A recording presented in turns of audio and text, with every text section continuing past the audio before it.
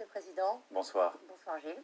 Bonsoir Anne-Sophie, bonsoir Monsieur le Président, bonsoir à tous. Bravo. Je précise que nous venons à peine d'enlever nos masques à l'instant et que nous sommes chacun à 2 mètres l'un de l'autre, ce qui permet de ne pas prendre de risque de contamination. D'abord, Monsieur le Président, huit mois après l'apparition de l'épidémie en France, les Français sont inquiets, ils sont parfois déboussolés par des injonctions qui semblent contradictoires. Où en sommes-nous aujourd'hui en France? Est-ce qu'on en est au même niveau qu'à la mi-mars, juste avant d'entrer euh, dans le confinement Est-ce qu'on a perdu le contrôle de l'épidémie? Bonsoir.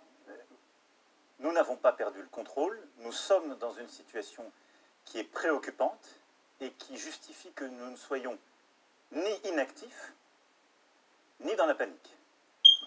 Nous avons appris de la première vague. Notre pays a subi cette vague de plein fouet.